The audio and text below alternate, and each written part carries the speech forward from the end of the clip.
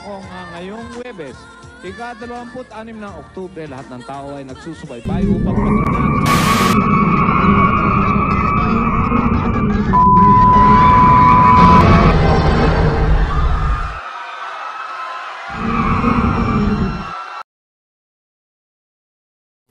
ABS-CBN, the most admired broadcasting network in Asia, in the service of the Filipino worldwide.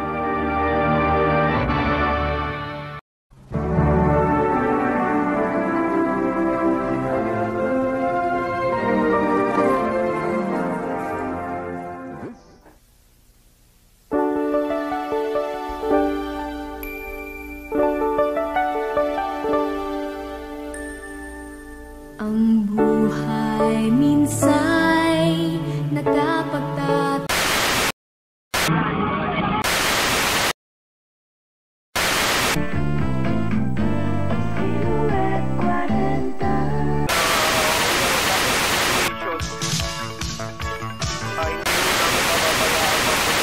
I'll take ang makatagpo pa ng iba pang biktima ng trahedya.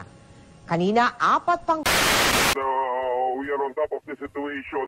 Uh, hindi ho namin pababayaang mabulaga po ang ating pong mga kababayan sa sitwasyong ito.